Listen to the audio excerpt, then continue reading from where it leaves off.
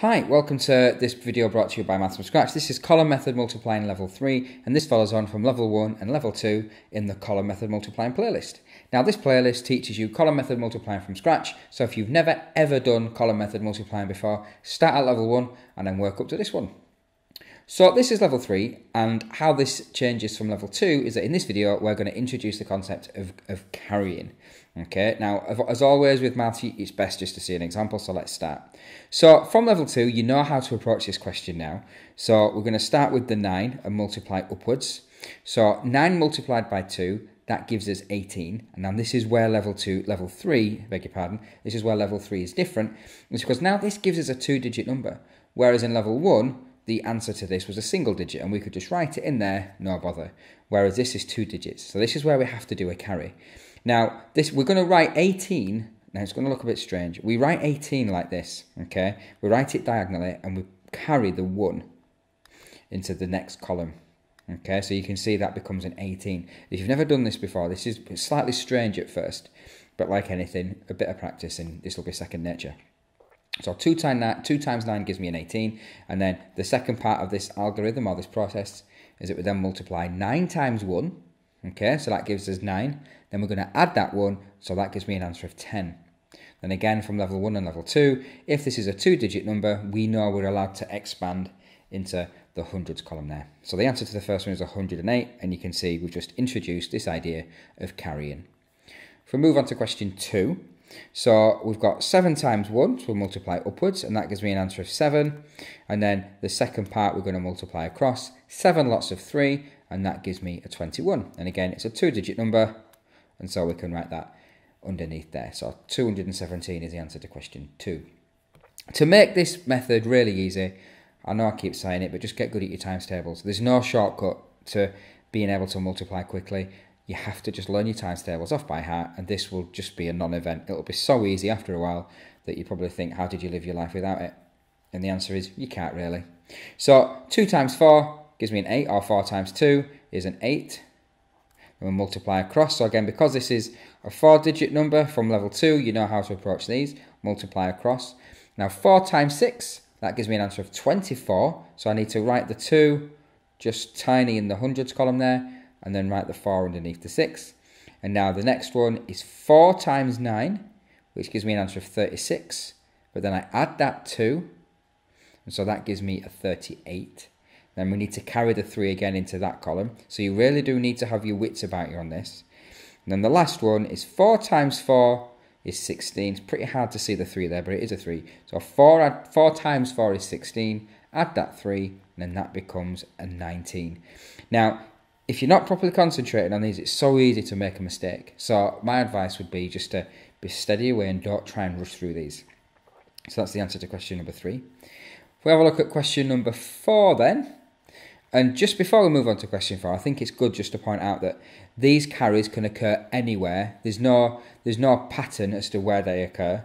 So they can occur in the tens column, hundreds column, thousands column all that happens is that if the answer is a two digit number, you are going to get a carry.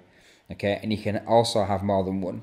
So you do need to have your wits about you to make sure that you don't just make a silly mistake. So if we look at question number four, 5 times 9, well that gives me a 45, so I'm ready to write the 4 in the tens column and write the 5 under there. So I'm carrying the tens. So I've done the first one. Now it's 9 times 4, which gives me 36. Now 36 add 4 is 40. So then I need to then write that as a two digit number, writing the zero under there. Okay, next one, 3 times 9 is 27. Add the 4 gives me a 31. So now in this time we've got 3 that we need to carry. And then 9 times 1, that's 9, add the 3, and so that's going to give me 12. And then because that's a two digit number, that can then move across into the 10,000s column. So you can see quite quickly these can become fairly fruity with the carries if you've got a big number there. Move on to question number five. So this is where it gets silly because we've got some numbers in the hundred thousands, but the method works no matter how big the number is. So I think it's fairly good that we get to see these. So you can see how it works in all these situations. So 3 times 7 is 21. So remember from level 2, we're just going to fan out. So 3 times 7 is 21. Carry 2 write the 1. 3 times 6 gives me an 18. So then that becomes a 20. So it's going to be the 2 that I need to carry and write the 0 under that column. 4 times 3 is 12. Add the 2 gives me 14. So I'm now going to carry the 1 and write the 4 under there. 3 times 3, remember to always go back to this digit here. 3 times 3 is 9. Add the 1 is 10. So I'm going to carry the 1 and write the 0. 2 times 3 is 6. Add the 1 is 7.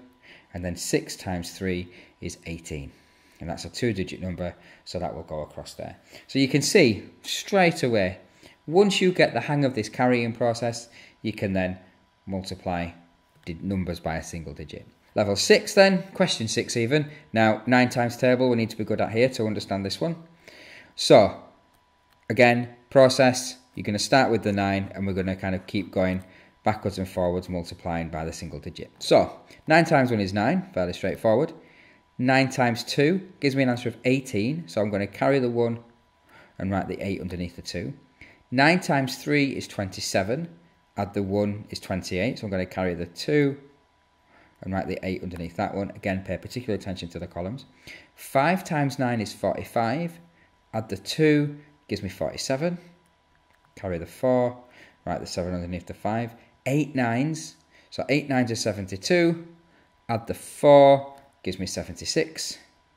Carry the 7, write the 6 underneath, and then 4 nines, that's going to give me 36. Then we're going to add the 7, and so that gives me 43.